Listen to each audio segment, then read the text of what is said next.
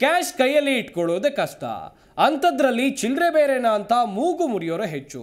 ಇಂತಹ ಸಮಸ್ಯೆ B M T C ಬಸ್ಗಳಲ್ಲಿ ಸರ್ವೇ ಸಾಮಾನ್ಯ. ಆದರೆ ಇನ್ಮುಂದೆ ಹೀಗೆ ಆಗೋದಿಲ್ಲ. ಹೇಗೆ ಅಂತಾನ? ಬಸ್ನ ಚಿಲ್ಲರೆ ಸಮಸ್ಯೆಗೆ ಕಂಡಕ್ಟರ್ ಕೊರಳಲ್ಲೇ ಪರಿಹಾರ ಸಿಗುತ್ತೆ. ಹೌದಾ? ಹೇಗೆ ಅಂತ ಜಾಸ್ತಿ ಯೋಚನೆ ಮಾಡಬೇಡಿ. ಈ ಸ್ಟೋರಿ ನೋಡಿ ನಿಮಗೆ ಗೊತ್ತಾಗುತ್ತೆ. ಯಾವುದೇ ಬಸ್ನಲ್ಲೂ ಚಿಲ್ಲರೆ ಸಮಸ್ಯೆ ಮಾತ್ರ ತಪ್ಪಿದ್ದಲ್ಲ ಚಿಲ್ಲರೆ ಕೊಡಿ ಎಂಬ ಕಂಡಕ್ಟರ್ ಬೇಡಿಕೆಯನ್ನ ಪ್ರಯಾಣಿಕರಲ್ಲಿ ಕೆಲವರಾದರೂ ಎದುರಿಸಬೇಕಾಗುತ್ತದೆ. ಇನ್ನು ಹಲವು ವರ್ಷಗಳಿಂದ ಕಾಡುತ್ತಲೇ ಇರುವ ಈ ಸಮಸ್ಯೆಗೆ ಇದೀಗ ಕಂಡಕ್ಟರ್ ಕೊರಳಲ್ಲೇ ಪರಿಹಾರ ಕಲ್ಪಿಸಲಾಗಿದೆ. ಹೌದು. ಬಿಎಂಟಿಸಿ ಬಹುತೇಕ ಬಸ್ ನಿರ್ವಾಹಕರಿಗೆ ಆಂಡ್ರಾಯ್ಡ್ ಸೌಲಭ್ಯದ ವಿದ್ಯುನ್ಮಾನ ಟಿಕೆಟ್ ಯಂತ್ರ ನೀಡಲಾಗಿದೆ. ಇದಕ್ಕೆ ಗೂಗಲ್ ಪೇ, ಫೋನ್ ಪೇ, ಭೀಮ್ ಇತ್ಯಾದಿ ಯುಪಿಐ ಮೂಲಕ ಸ್ಕ್ಯಾನ್ ಮಾಡಬಹುದಾದ ಯುಪಿಐ ವ್ಯವಸ್ಥೆ ಅಳವಡಿಸಲಾಗುತ್ತಿದೆ. ಉದ್ಯಾನಗರಿಯಲ್ಲಿ ಪ್ರತಿನಿತ್ಯ ಸಾವಿರಾರು ಬಿಎಂಟಿಸಿ ಬಸ್ಗಳು ಕಾರ್ಯನಿರ್ವಹಿಸುತ್ತಿದ್ದು, ಬಹುತೇಕ ಬಸ್ಗಳು ಪ್ರಯಾಣಿಕರಿಂದ ತುಂಬಿ ತುಳುಕುತ್ತಿರುತ್ತವೆ. ಇಂತಹ ಸಮಯದಲ್ಲಿ ಎಲ್ಲರಿಗೂ ಟಿಕೆಟ್ ನೀಡೋದು, ಚಿಲ್ಲರೆ ನೀಡೋದು ಕಂಡಕ್ಟರ್ಗಳಿಗೆ ತ್ರಾಸದಾಯಕವಾಗಿರುತ್ತದೆ. ಇನ್ನು ಚಿಲ್ಲರೆ ಕೊಡಿ, ಚಿಲ್ಲರೆ ಇದ್ರೆ ಮಾತ್ರ ಬಸ್ ಹತ್ತಿ ಎಂಬ ಡೈಲಾಗ್ಗಳು ಸಾಮಾನ್ಯ.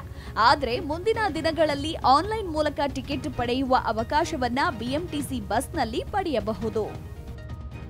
ಇನ್ನು ಯುಪಿಐ ಪೇಮೆಂಟ್ನಿಂದಾಗುವ ಅನುಕೂಲಗಳೇನು ಅನ್ನೋದನ್ನ ನೋಡ್ತಾ ಹೋದ್ರೆ ನಗದು ರಹಿತ ಪಾವತಿ. ಯುಪಿಐ ಆಪ್ ಇದ್ರೆ ಸಾಕು, ಬಸ್ನಲ್ಲಿ ಸಂಚರಿಸಬಹುದು. ಇನ್ನು ಯುಪಿಐ ಮೂಲಕ ಪೇಮೆಂಟ್ ಮಾಡಿ ಟಿಕೆಟ್ ಪಡೆಯಬಹುದು. ಯುಪಿಐ ಪೇಮೆಂಟ್ನಿಂದ ಚಿಲ್ಲರೆ ಸಮಸ್ಯೆಗೆ ಮುಕ್ತಿ ಸಿಗುತ್ತೆ. ಚಿಲ್ಲರೆ ಇಲ್ಲ ಅನ್ನೋ ಪ್ರಯಾಣಿಕರು ಹಾಗೆ ಕಂಡಕ್ಟರ್ ಸಮಸ್ಯೆ ದೂರ ಆಗತ್ತೆ. ಸ್ಟಾಪ್ ಬಂತು, ಕಂಡಕ್ಟರ್ ಇನ್ನೂ ಚಿಲ್ಲರೆ ಕೊಟ್ಟಿಲ್ಲ ಅನ್ನೋ ಭಯ ಇರೋದಿಲ್ಲ. ಇನ್ನು ಕಂಡಕ್ಟರ್ ಮತ್ತು ಪ್ರಯಾಣಿಕರಿಬ್ಬರ ಸಮಯ ಉಳಿತಾಯವಾಗುತ್ತೆ.